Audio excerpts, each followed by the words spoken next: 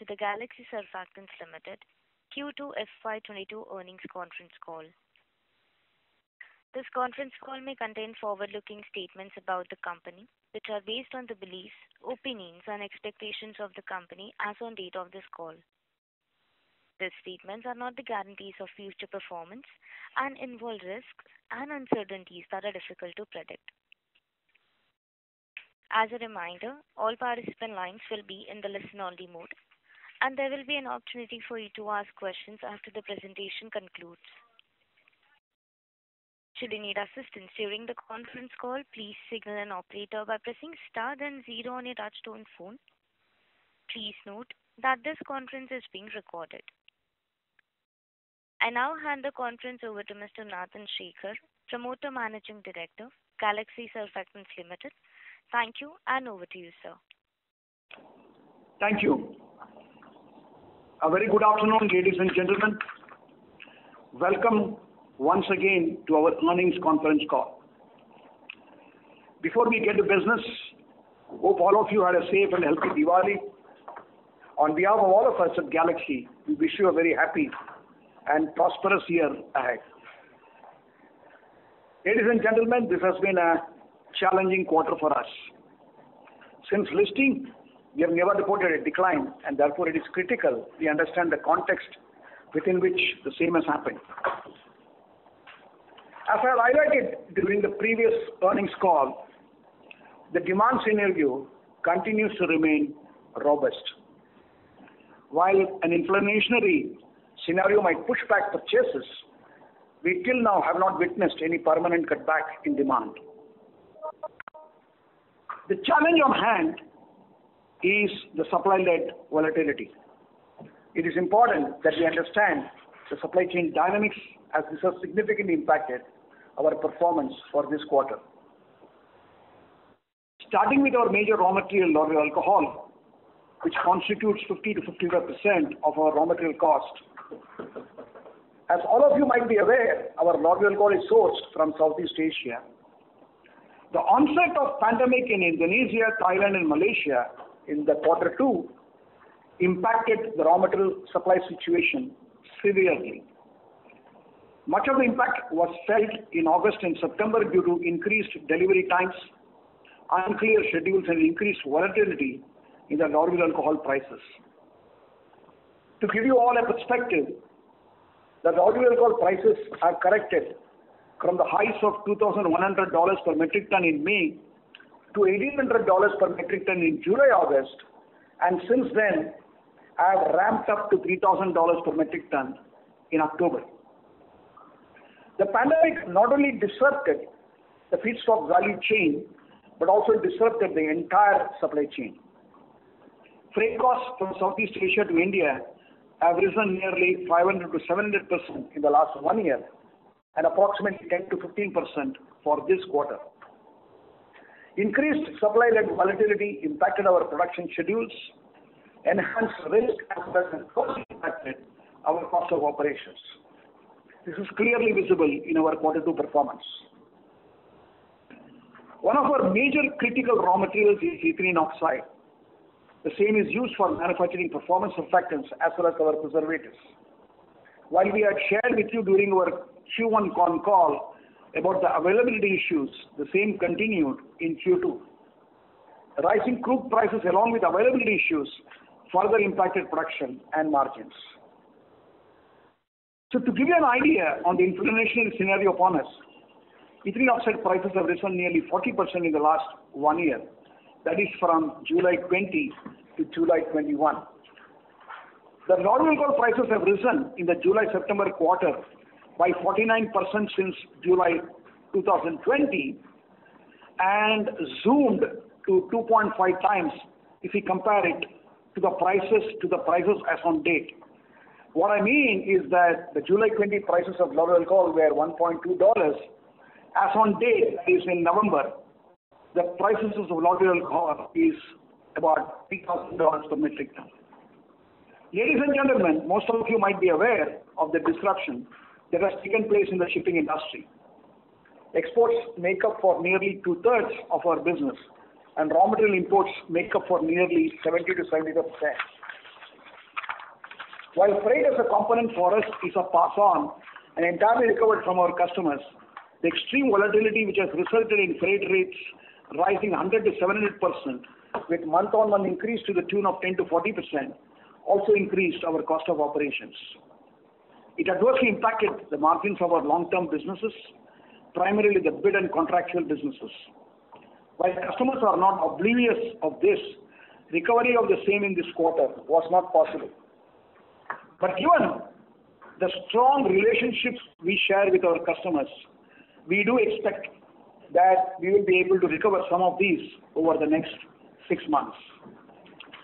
Unavailability of containers for long-distance shipments impacted our specialty business as well as disrupted the intermediate feedstock supply chain at our Egypt plant. These two had a major impact on our performance this quarter. Objective of highlighting the entire supply chain dynamics, ladies and gentlemen, is to help you understand the context of the quarterly numbers. At Galaxy, we have always believed in giving our best, and we do everything possible to ensure that we meet our customers' requirements, service to the best of our abilities, and maximize value. While our volumes might have declined 7% on a year-on-year basis, supply chain factors impinged our ability to service the available demand. But in the midst of this challenging environment, I would like to highlight some of the key positives of this quarter as well as the first half. Our India volumes, though, remained flat on year-on-year basis, quarter-on-quarter, despite the feedstocks availability issue, have reported an increase of 1%.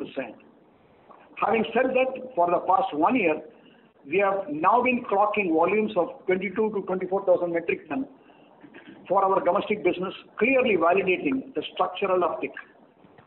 Till 2019-2020, our volumes were in the band of 19,000-21,000 metric tons. Our proteins, preservatives, and manufacturing businesses, after a slow 2020-2021, have started gaining traction. We remain confident that going ahead, the specialty volumes, barring the supply-driven constraints, should see a healthy uptick in volumes. The Africa, Middle East, Turkey region, again, while on face of it might show a decline, is witnessing good traction given the improving economic prospects of the crude exporting countries. To summarize, ladies and gentlemen, in terms of financial numbers, cumulatively, the supply chain factors adversely impacted our EBITDA by 20 crores. Before we move on to outlook for the coming six months, I would like to share a few positive updates from you.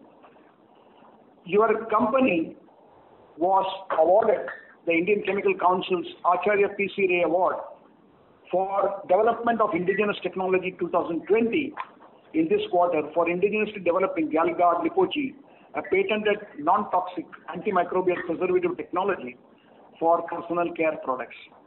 This is a new molecule which is slowly gaining traction in the developed markets and should bear fruits in the coming three to five years. Incidentally, we also bagged the Golden Peacock Award for eco-innovation uh in the last you know you know in this month, in this or last month. The CapEx is done for specialty products at Jhagadia, Tarapur are now being operationalized in phases and should be fully operational uh, by January 2022. This will lay the foundation for our next leg of growth in the coming years. Moving on to the outlook, ladies and gentlemen, for the next six months, we retain the EBITDA guidance of 16,000-18,000 rupees per metric ton. Despite the extreme volatility and inflationary feedstock scenario, in H1, our EBITDA per metric ton stood at 15,917, which we believe should hold. While freight rates are now showing some signs of tapering, container availability issues persist. We only see this normalizing in the coming six to nine months. Managing supply chain and inflationary feedstocks in this volatile scenario will be a critical success factor, and Galaxy is geared up to manage it. As Southeast Asia gets back to normalcy, we do see the food feedstocks available scenario improving. With this, I would like to state that we retain our 6%-8% volumes guidance. Having said this, it is also important that we understand the emerging risks which can have a material bearing on our performance.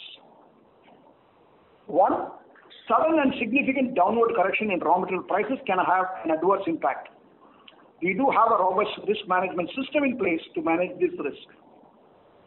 The export support benefits realized in Egypt and recognized on receipt basis in the first half of last year, that is FY 2021, is not expected to be received in H2 FY 2022.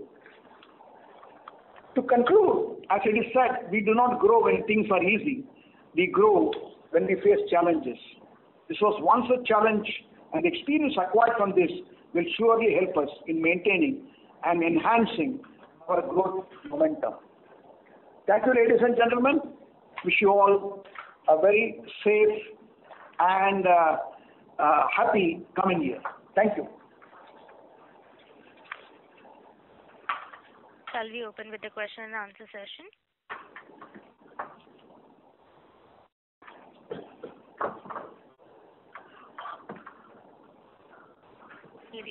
Ladies and gentlemen, we will now begin the question and answer session.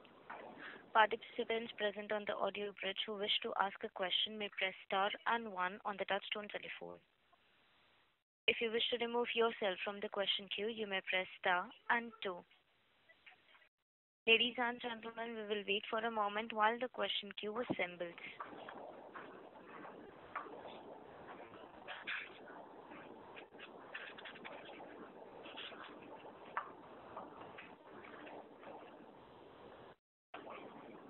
The first question is from the line of Rohit Nagraj from Emkay Global. Please go ahead. Yeah. Uh, thanks for the opportunity, and uh, thanks for explaining the situation uh, from for quarter two. So The first question is on the EO availability. So you mentioned that there was an increase in pricing as well as availability. How is the situation shaping up, and what was the particular reason because of which this particular EO availability was in question? Thank you. So First of all, the reason was because of the uh, you know, scheduled maintenance activities in uh, my uh, suppliers' plants getting extended because of the COVID situation that was there, plus also some pending maintenance that they couldn't completely fulfill in the previous year because of COVID. So that was thing. Having said that, we do see that things have started normalizing over the last 45 days, and we expect things to be as assured by our supplier that things will pretty much be uh, normal. Okay. Our only objective is to see as to how we are able to ensure that we are able to catch up on whatever we lost in the previous three to four months. Uh, right, sir. Got it. Uh, sir, the second question is, again, in the initial comment itself, you mentioned that there was no permanent cutback in demand. Given that the pricing on the raw material side has increased and probably at some or the other point in time we'll be passing it on to the customer, uh, how do we foresee uh, the demand side, whether it will get impacted or uh, whether people will be able to absorb the increased prices and the demand will remain stable? What is your overall sense across the geographies and our product streams? Thank you. so What we are saying is the price increases were being done in a judicious manner by our customers Uh, since uh, May, June this year, okay, in a very phased manner. And uh, you know, they they are also cautiously optimistic that the demand should hold. And till probably now, we aren't seeing any significant issues on that front.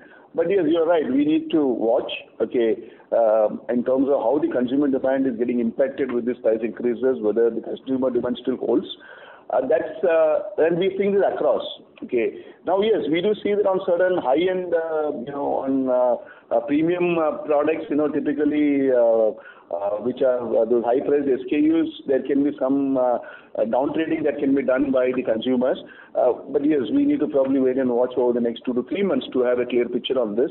But having said this, as of now, we do not see any significant impact on that front. Okay. We'll probably know in the next two to three months. Yeah. Thank you so much, and best of luck, sir. Thank you. Thank you. Thank you. Participants who wishes to ask a question may press star and one. The next question is from the line of Bob from Falcon. Please go ahead. Yeah, hello.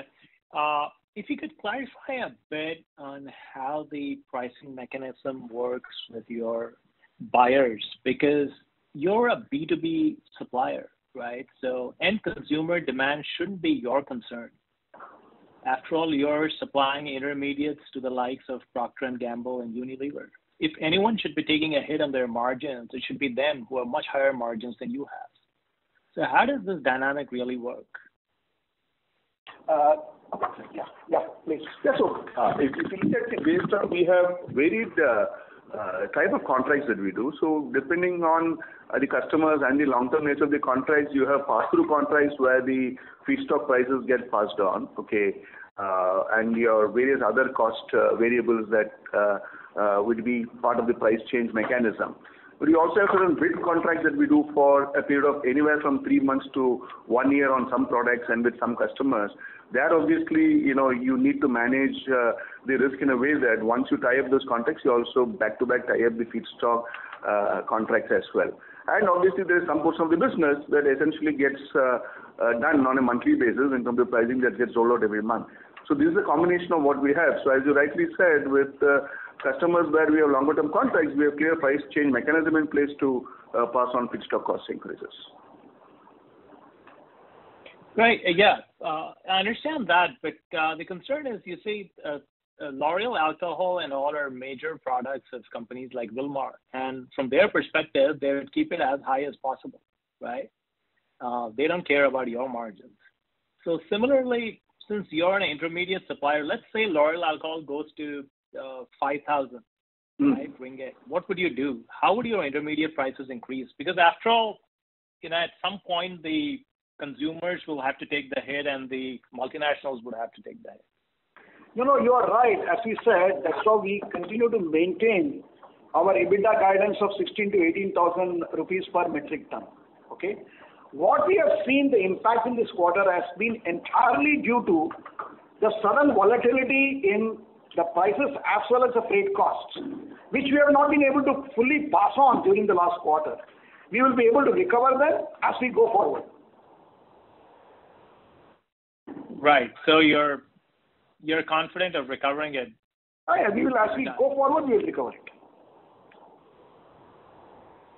Okay. And your contracts with your suppliers, right, for lauryl alcohol, aren't are they all on the spot market or do you have longer term contracts? So we have a combination there again, where we do longer term contracts, we do three to six month buying, we also do spot buying. So that's one way that we manage the risk. Okay, so there's a combination of that that we do. Yeah, well, when the lauryl alcohol prices started going up from last year, from uh, 1800, uh, why didn't you get into longer term contracts when the trend was quite obvious? Yeah, if I had a crystal ball uh, in front of me last year, I could have done that. But the uh, uh, fact here is that when you manage your risk, you know, we are not supposed to be also taking long-term calls based on what we expect the prices to be one year down the line, because the market is not going to, uh, market has own way of, you know, uh, uh, behaving. So we are very clear that when we have to take any long-term calls, it needs to be not giving us an exposure. And Because clearly, we don't speculate on raw material prices. we have a cap. Uh, yeah, we don't speculate on raw material prices. We don't make our profits from uh, speculation on raw materials. And uh, and one year back, you couldn't have seen foreseen the scenario of COVID impacting uh, uh, plantations and then uh, in Indonesia, Malaysia, Thailand, and also oleochemical producers and the reducing supply, both in terms of the vegetable oil as well as the oleochemical uh, derivatives. So these are all a lot of imponderables that we could have not known one year back. I know, I completely agree with that. I'm in no way advocating speculation. What I was saying was picking up on your point where you said you sometimes have longer term contracts, right, for lauryl alcohol. So suddenly it's gone up to $3,000, but if you had a three month even contract, uh, you would have uh, used the contract pricing, right? That's what I meant. Those are, those are always, yes, those long-term contracts are always back to back. Open positions. Yeah, you don't keep open positions. You back. don't, you don't keep open positions. Oh, understand. Yeah, yeah. All right, Because if thank you very open much. Positions, okay, then the risk is going to be very significant. Both ways. Hmm. Yeah. I see. Got it. Thank you. Thank you. The next question is from the line of Rohan Gupta from Edelweiss. Please go ahead. Rohan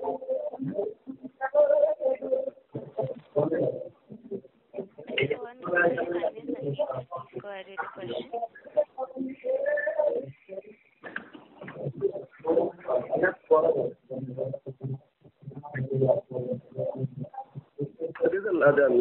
The line is bad, I guess. You know, it's the voice is coming very muddled. Mr. Rohan, sir, can you please go ahead with the question? Your line is unmuted. Yeah, uh, thank you. Uh, Sir, uh, good afternoon. There was some line problem. I'm so sorry, Mr. Rohan, but there is a lot of background disturbance which is coming from your line. Can you please check and if you can come back in the queue, sir? Thank you. Participants, to ask a question, please press star and one. The next question is from the line of Bhargav Vidade from Kotak Mutual Fund. Please go ahead. Yeah, good afternoon, team. Uh, My first question uh, is on, uh, is there any loss uh, in terms of uh, customers, especially your international customers, given this is a uh, much needed uh, raw material intermediate for them? Uh, Or is there any market share loss which you are witnessing amongst your uh, international customers? See, we the- the- obviously the sort of relationship with customers, uh, I can tell you very clearly there have been no loss of customers. But yes, uh, our ability to serve, like certain uh, customers always give us the first uh, right of refusal. So if uh, our inability to reach the material to them on the time that they require, so obviously they would end up going and buying it from others who can give it to them. Uh, Otherwise, in terms of our uh, uh, strategic intent with customers and their uh, uh, long-term relationship that we have with them and their extremely positive way way we have serviced them and supported them despite these challenges, uh, uh, you know, holds us in good stead in terms of uh, uh, growing the business further with them. So once these uh, uh, supply chain bottlenecks, especially on the raw material front, uh, stabilize, uh, are you confident that this transient market share loss with your international customers would be more than offset? Very much. Very much. Very much. Very much. Okay. Uh, Secondly, sir, you mentioned that uh, on the India side, despite a uh, large base of last year due to pent-up demand, you have witnessed almost flattish volume growth. And you mentioned in your presentation there are some structural trends that you are witnessing which have resulted in these uptick in volume. Is it possible to elaborate a bit on this? So what we're saying is that when we say such a uptick, the hygiene habits because of COVID, okay, uh, that changed in the from the second first quarter of last year, okay, uh, continues to uh, maintain the momentum. So people have become more conscious of hygiene. Okay, so it's ensuring that the volumes that grew last year, okay, they maintain, okay, the sort of momentum that was there. So uh, last year, same quarter, last year, same uh, quarter, uh, there was a huge pent-up demand that came up, okay, because the first quarter was obviously full of total lockdown. Okay, so now despite that not being there in this quarter, if you look at H1, okay, the volumes have grown all pretty significantly as far as India is concerned. So that tells us that there's still uptick in demand. Okay. And lastly, on this uh, Jhagadia and Tarapur uh, uh, facility, which will likely get fully commissioned by January, uh, uh, is it possible to share um, uh, which kind of products would you be manufacturing here? So as we already mentioned, in Tarapur as well as uh, the products that we are manufacturing are mild surfactants and non-toxic preservatives, which we know are new generation preservatives. So this is enhancing our uh, uh, capacities, which initially we had set it up in uh, Tarapur, which we are expanding in Jhagadia. So this should hold us in good stead over a horizon of next maybe five years in terms of the requirements as far as the market is concerned. And so to to sum up, in in Jhagadia as well as Tarapur, the capacities that are coming online are with respect to mild surfactants as well as non-toxic preservatives. And would it be fair to say that some bit of this portfolio would also be fairly new uh, as far as your customers is concerned? Yes. Yes. Okay. Yeah. Great, sir. Uh, Thank you and all the very best. Thank you. Thank you. Participants, to ask a question, please press star and one. The next question is from the line of Rohan Gupta from Edelweiss. Please go ahead. Sir, hope it's clear now. Yeah, much better, but still could be better. Okay. Yeah. Okay. Uh, sir, couple of questions from my side. First, please clarification on this lauryl alcohol prices. You mentioned in month of October it went up to almost $3,000 per ton? Yeah, correct. Okay. And uh, they are still at those levels, I mean, at 3,000? Yes. Yes. Okay. Uh, sir, you also mentioned that uh, we can recover some of the losses. I think the current quarter you had roughly 20 crore rupees loss because of this volatility, both in freight cost and also in RM cost. You mentioned that probably in second half you can recover some of these losses. Will the second half be normal margin profile or you just mentioned that it can improve only from current level but it still will remain bad? You know, what is important, uh, Rohan, is that let me explain. Okay. With customers, see, if the raw material price increase was the only increase that happened, I think I know we could have been in a much better position to pass it down if I could service them on time, guarantee deliveries to them, and also have no freight cost increase. So if you see the last four to five months have a combination of factors, everything that is loaded against in terms of both us and our customers and consumers.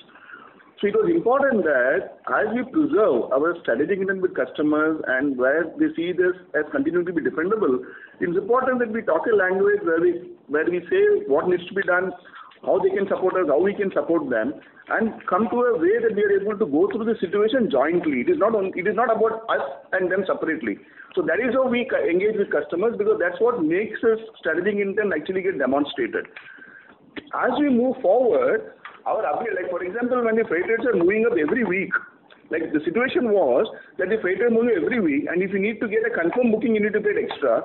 And if you need to be giving something uh, that needs to be booked one month ahead, you need to be paying much higher. So that is how the freight market was. I can't go back to the customer every week saying that, "By the time I'm shipping, it's gone up by so many dollars, please give it to me." We can't be transactional. So that is how the recovery keeps getting pushed, okay. And now things seems to getting stabilized, so our ability to pass on is much higher because, you know, things are not, uh, you know, uh, going up every week as it was in the last three to four months. Okay. Sir, in that way, if I uh, extrapolate what you are saying, so, sir, June, I mean the current quarter, Q2 average of lauryl alcohol prices was somewhere at $1,850. Now in October we are at $3,000 and may at this level. It means that the sudden increase has happened from Q2 to Q3 will be from $1,800 to $3,000. That is a really sharp increase in RM prices. Correct. Uh, if you are not able to go through to the customer again and again, and we are already seeing, sir, in Q2 there is already margin pressure. So are should we prepare that Q3 can be further disastrous in terms of margin because we may not be able to? No, the point here is what you need to be looking at is in terms of if you see last quarter, the margin reduction was majorly on account of the production losses that we had because of the supply of the feedstocks, okay? Which is what we explained. The 20 crore that Shekhar mentioned in his con call remarks was supply-led in terms of the um, inability to even produce and serve our customers.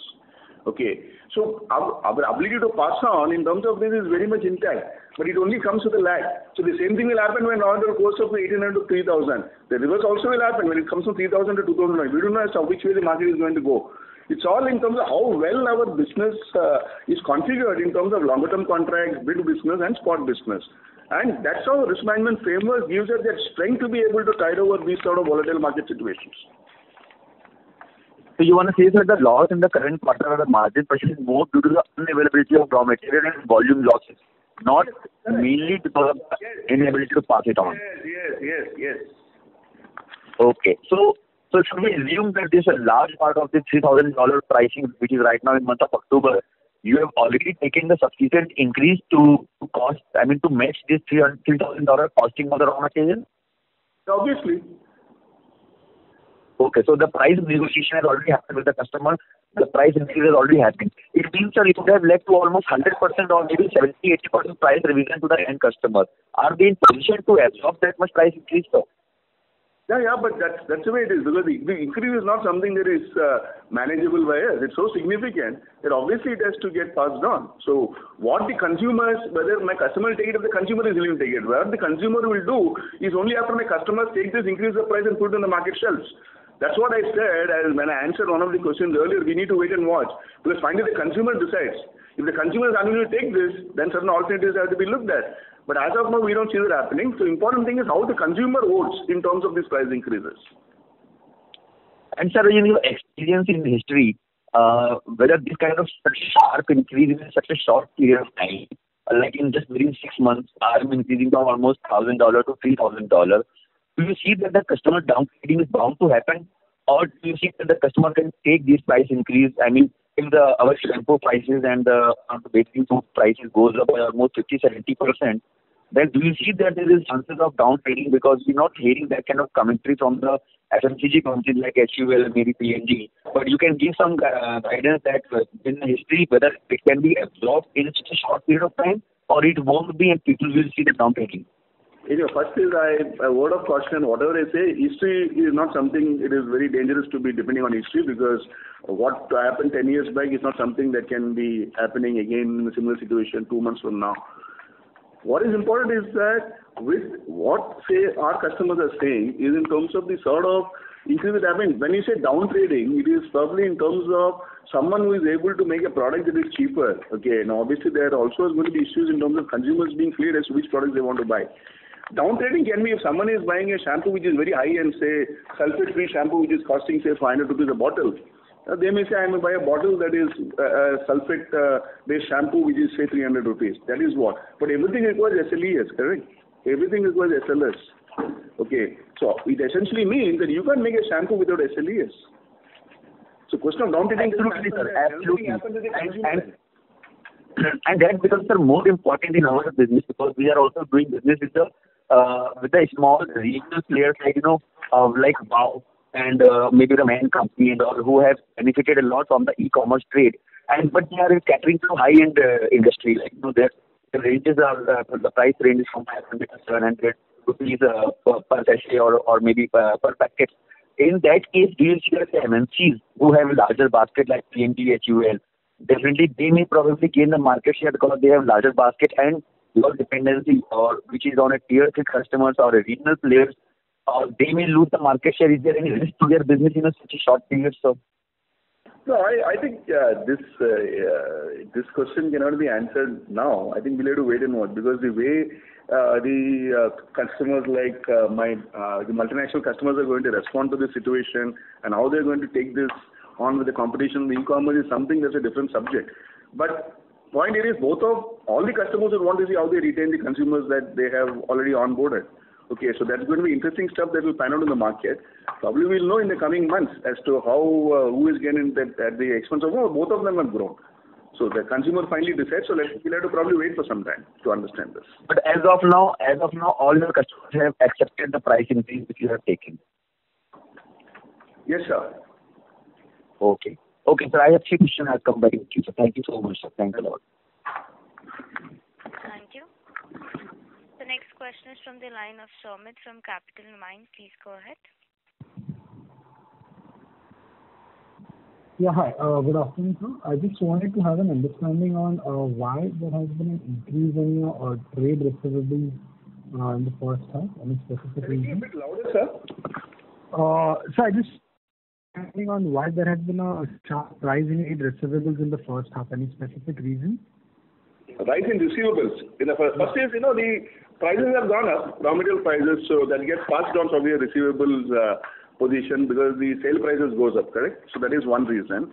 Second is, you know, we've been uh, with the sort of uh, Uh, uh, raw material availability issues that we had, timely availability, we had to prioritize for our strategic customers who essentially where they have a higher credit period as compared to others. So this essentially means that on both these accounts, the receivables go up.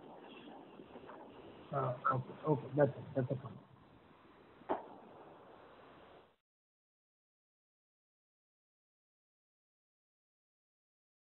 Thank you.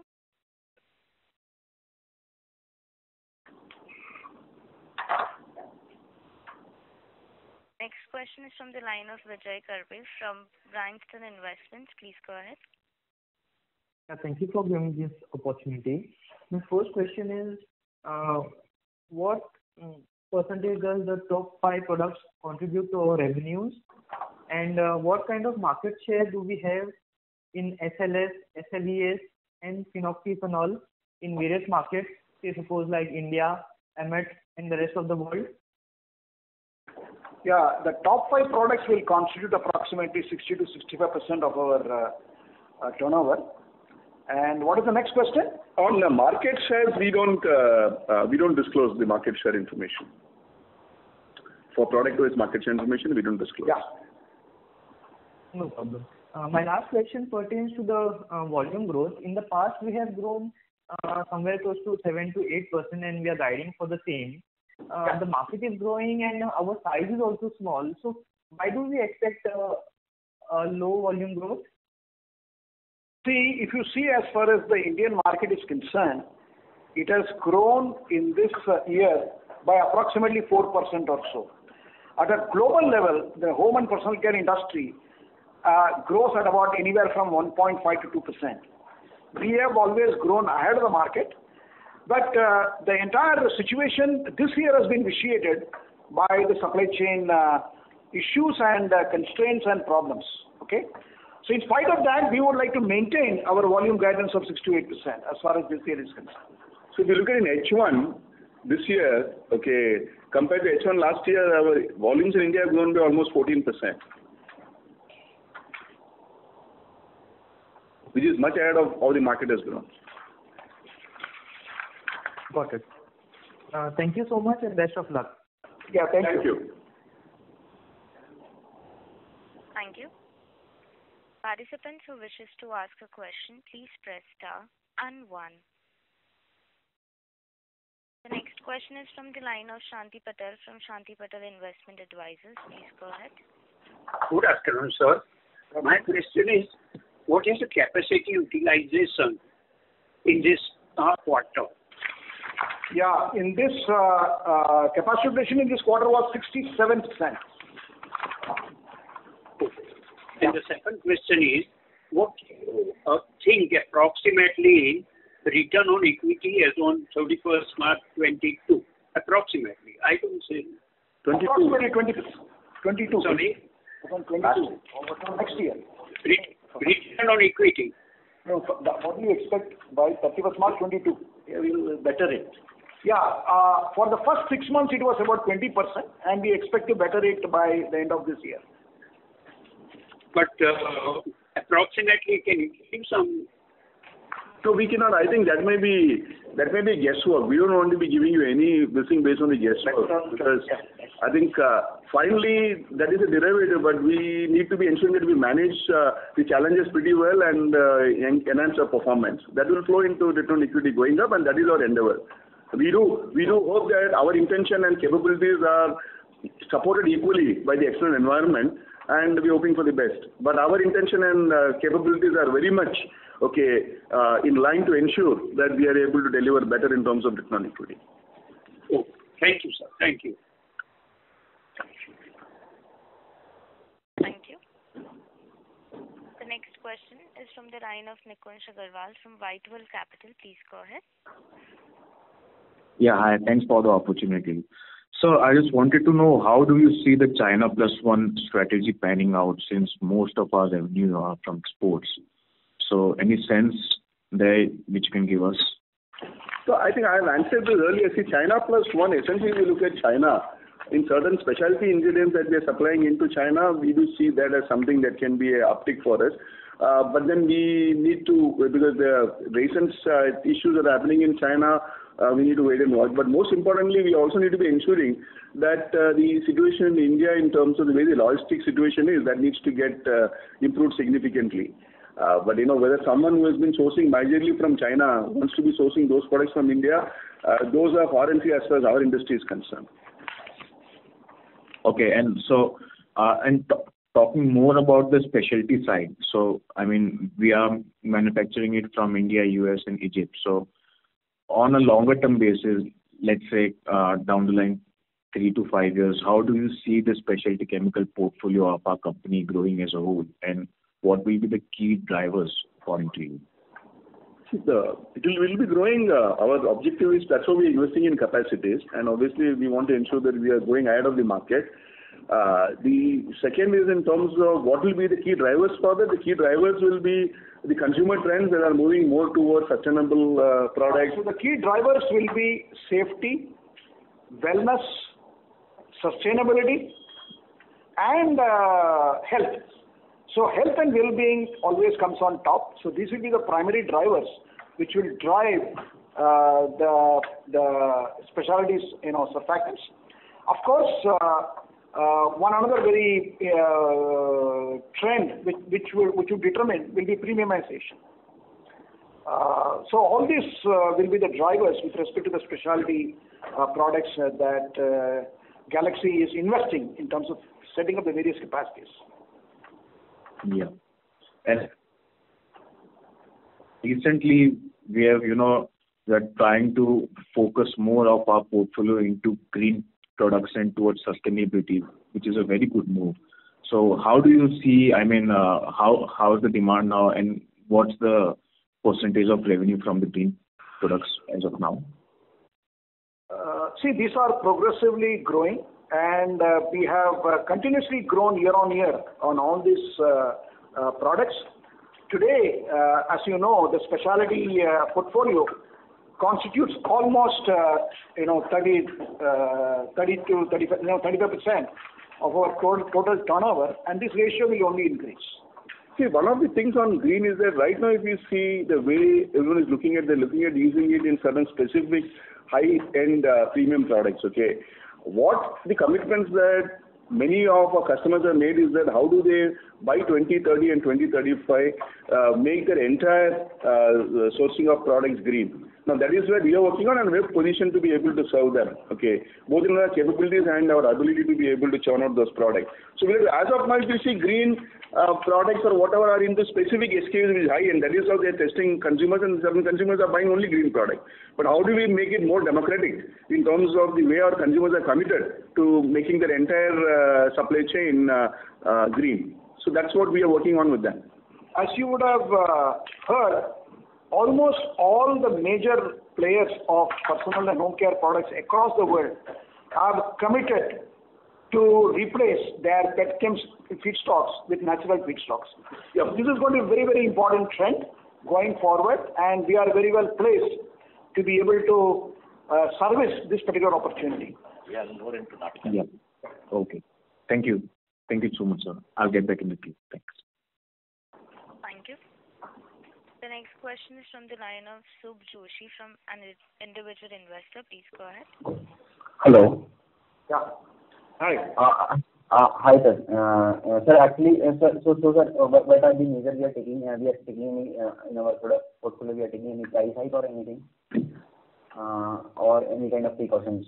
Can you repeat? Your line is not clear. We're not able to hear your question clearly. And please be a little slow. Uh, now it's clear? Yeah. Uh, uh, so, so sir, what I'm saying, so, I'm saying we are taking any price hike in our uh in our overall uh in our overall uh product portfolio. So, we have our clients. So, um, because because we are getting from the inflationary price hike. So I know that it is very short-term hike, but we are taking any price hike. So that will be. Yeah. So we are we are taking price hikes. Okay. Okay. And sir, uh, so, so sir, you are planning any kind of CapEx or uh, kind of new any patents? So that is already uh, taking patents and planning capacities is an ongoing exercise. And yeah, there are certain capacities that are already getting commissioned, as we said, by January 2022. More capacity additions in line with what the market requires are already in the drawing board. So we'll announce that as and when. Yeah. We firm up the plans. So as of today, the total number of patents that we hold is about 80, and we have applied for another 15. Okay. Okay, sir. Thank you, sir. Uh, and congratulations for this issue. Thank you. The next question is from the line of Rohit Nagraj from Emkay Global. Please go ahead. Yeah. Uh, thanks for the follow-up. Uh, so the question is pertaining to Dr. Nirmal, who has now resigned. Yeah. So How are we taking the R&D initiative further and any more uh, substantial update on the R&D front? Dr. Nirmal continues to lead our R&D. Okay? He has only retired from the board of directors. Okay? That is you know, in terms of what is called internal rules with respect to the age limit, but he continues to lead uh, R&D in Galaxy. Okay. Okay. Uh, sorry, my understanding was wrong. No. Sir, the second question is in terms of the recent rise in uh, lauryl alcohol prices. So I understand it is unprecedented and never seen before. Uh, any structural changes uh, which are driving these prices? Because we have also seen that from close to about 1,000 to 1,500 odd levels, those prices have moved up beyond 2,000 odd levels. So from the availability perspective, are there any structural changes which will keep the Uh, prices on a higher level? And given this particular event has occurred uh, in the recent past, uh, any particular areas where we have taken our risk mechanism from a, you know, working on a different perspective? Thank you. Actually, there is, see, the, in your vegetable oil prices, okay, as with any commodity, more so with agricultural produce, is that the main determinant is the supply side. Because uh, demand will be steady in terms of its growth, uh, but then the supply-led stuff is what is going to determine how the prices go up and go down. So if you see the demand, the supply side had severe challenges on the vegetable oil side. And the supply challenges led to lower production, lower inventories, and that has led to the price increase. So if you say structural, the stuff is in the last one year, the production has got impacted significantly for vegetable oils. Okay. So other than that, there's nothing structural change that has happened. Now, as production starts improving in terms of uh, the plantations working to their full capacity, okay, the supply should improve, and that would start softening the prices. That's the way it is. Right. And one just uh, last clarification on uh, EO side. So for our incremental capacities, do we need incremental EO, given that there is only a single producer and constraint with increasing the capacity? Uh, if we need uh, incremental EO, how are we uh, going to tackle this particular, you know, subject? First of all, the supplier of EO is not a only a single supplier. They have four locations, and for them, this is a very strategic molecule, and we have a huge strategy engagement with them. We don't see that as a challenge. So our growth plans are very much intertwined with their growth plans in this particular molecule, and we don't see this as an issue at all. What has happened was something that was more uh, situation specific in terms of the maintenance schedule being extended because of COVID. But last year where they couldn't do much of the maintenance properly, and then they had to uh, continue and complete that in this year. And this year again, when they started, they had COVID issues in the first quarter. Right. Uh, got it. Thank you so much, and best of luck.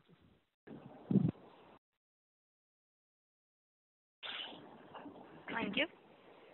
The next question is from the line of Bob from Falcon. Please go ahead. Hi. Have you uh, seen a similar situation historically, uh, for example, in 2008? Uh, yes. We did. We did. Yes. We have seen lauryl alcohol going up to $3,500. And then crashing to $900. Yeah, and crashing to $900.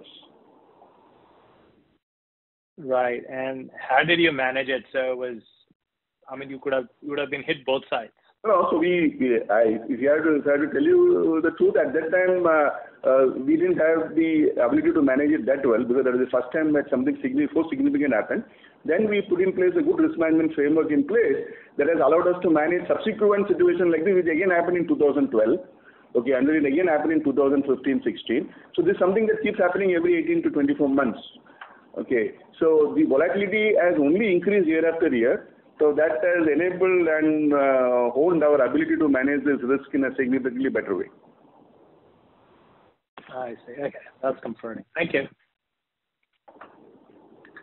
Thank you. The next question is from the line of Shanti Patel from Shanti Patel Investment Advisors. Please go ahead. Yeah. I just uh, Sorry, Mr. Patel, but we cannot hear you. Your voice is breaking. Okay, okay. Yeah. Now? Is it okay? Yes, this is Hello. much better. Is it okay? Yeah. Yeah. I just wanted to know what will be the incremental turnover from January, uh, from uh, which date we are going to have new plants in operation, and what will be the approximate profit after that? No, we cannot be. Our first thing is to commission the plant. Subsequently, since it's all new products, Uh, how do we ensure that we are able to, uh, you know, uh, get those volumes placed with the customers. And We'll not be able to make any statements in terms of what will be the turnover or what will be the sort of profitability out of that. Thank you, sir. Yeah. Thank you. Thank you. The next question is from the line of Rohan Gupta from Edelweiss. Please go ahead. Yeah. Hi, uh, sir. Thank you for the follow-up. Uh, sir, couple of questions. Just one is on, uh, sir, our employee costs. There has been a quarter-on-quarter decline in employee costs. Any particular changes in that or or it just was a higher in Q1? Can you repeat the question, Rohan? Rohan here. Sir, I was saying that employee cost on quarter-on-quarter has come down. Any particular changes there? The employee cost. Uh, Quarter-on-quarter. Yeah. See, the question comes is that in the employee cost last year and current year, last year since uh, we had a uh, lockdown in the- Sir, I was comparing more from the Q1 to Q2. Q1 it was 64 crore and current quarter it is 46 crore. Yeah. You are talking about the second quarter. You are Sequential. Sequential has gone down because the performance for the second quarter was not up to the mark. That is why the reversal has been done. Sir, performance was not up to mark means that, uh, but we have to keep cost for employees, right? It's not linked with the sales, correct? No, no. It is uh, uh, because Q1 to Q2, so the Q2 performance where our variable pay provisions obviously have been scaled down. Okay? Okay. Okay. So there is a very variable part of the employees which has come down. There is. For your senior management, top management, there's a good amount of variable pay component. Yeah. That was I was thinking, sir, also that you guys have to take a lot of cuts in the salary for the current quarter. Yeah. Yeah. Correct. Thanks for noticing that. So we also take it. We also take it. Sir, I wish that it goes up significantly in the next quarter in line with the improvement in the performance of the company. Hopefully hopefully it goes up in the next quarter. Sir, second question on the commissioning of this specialty chemical plant which is happening by end of this year. Sir, we have seen that we have been living in a COVID environment and there have been a lot of global travel restrictions. And specialty chemical plant is focusing more on the new product development and all. Even though we are going to commission the plant, but how has been the product acceptability? How has been the demonstration and uh, uh, uh, offering or sampling to the customers? Or we will see that very slow pickup in our specialty chemical plant because that may only be possible after the restrictions by global travel. Yeah. Every person, including you and me, are fed up of this COVID. Okay, so we want it out of a dictionary. And if you see travel plans are easing, uh, you know, customer uh, organizations, including at Galaxy, we have started many people coming back to work from office. Okay, so everything is improving for the best. Okay, so keeping our fingers crossed, if and COVID is expected to get into an endemic zone as per WHO in the coming months. If that happens, then uh, I think everything is falling well in place. Our capacity is coming up. Okay, the the uh, consumer demand looking up in terms of people mobility increasing, so that's good. So we don't uh, see any further negative happening, uh, unless COVID has its own way of rearing its head back again, which looks to be a low probability. Any sense, sir, can you give on the commissioning of the new specialty chemical plants? Uh, how much of this is the only new product and how much we can be producing our existing product basket of the specialty chemicals? See, it's all a multi-purpose plant that we put up. So it can be a new product also we can make, plus existing also. So it'll be difficult for me to give you that number because it's not that everything is uh, they, they are mutually, uh, not mutually exclusive. So I can make two or three products, which can be, some of it can be existing some of it can be new products. So that's the way we configure our uh, plant. You know, configure our plant. Okay. My concern was that. Huh? Sir, my concern was that even even the pandemic is ending. I agree with that and the global travel may start, but it may still take at least one, one and a half years for reaching to the customers, doing the demonstration and sampling. So do you see that for next one and a half years for new uh, specialty chemical plant? No. Let me be clear. So all these new products now we are commissioning, our engagement customers continued uh, to the virtual uh, mode. We actually did more meetings with customers last year than we ever did in the previous years. Okay. Because we could do more of virtual meetings. So that market development efforts uh, never got impacted. In fact, they got enhanced in the last year. So when things come back, you know, it's only that it's going to accelerate it further. It's not that we have to stop our market development activities for our new products.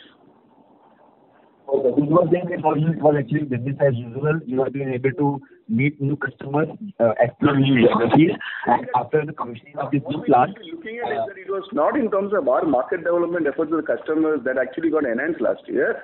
Our customers, if they're launching any new uh, with our molecule, they're going to launch any new SKUs or new products, they would essentially would have waited for things to stabilize as far as COVID is concerned, and consumers come back to the markets, and they start looking at it positively. So those things will only accelerate with the COVID situation, uh, you know, um, uh, regressing. Okay? Okay. Just last from my side. Since you are also in Lepta in Egypt, sir, how much price increase has happened in Lepta product basket, compared to our lauryl alcohol product basket, just in comparison? Lauryl alcohol has scaled up much faster than, Yeah. you know, LAB. They keep, I think, trying to compete with each other. Okay. Because Egypt markets are very sensitive, and if lauryl alcohol-based prices have gone up much sharply, then there may be possibility that there may be shift in that market may be visible from Uh, uh, clean or green chemistry product to lauryl alcohol. Sorry, to Lepta product. Yeah, but the thing is that not every product can incorporate Lepta. Okay? So there are certain, you know, formulations that cannot have Lepta. It's not that they are interchangeable. Yeah, that's why it's largely used only in Home care. Home care, so fabric care, largely, and some amount of dish care. So, and, Uh, uh, you know, it cannot replace uh, kg for kg SLES in every single formulation. No. Okay. Okay, sir. Thank you, sir. Thank you very much. Thank you. Ladies and gentlemen, this was the last question for today. I would now like to hand the conference over to the management for closing comments. Thank you, ladies and gentlemen. Uh, thank you for attending this conference call. Have a great day, and have a safe and a great year ahead. Thank you. Thank you, all of you. Thank you. On behalf of Galaxy Surfactants Limited, that concludes this conference. Thank you for joining us, and you may now disconnect your lines.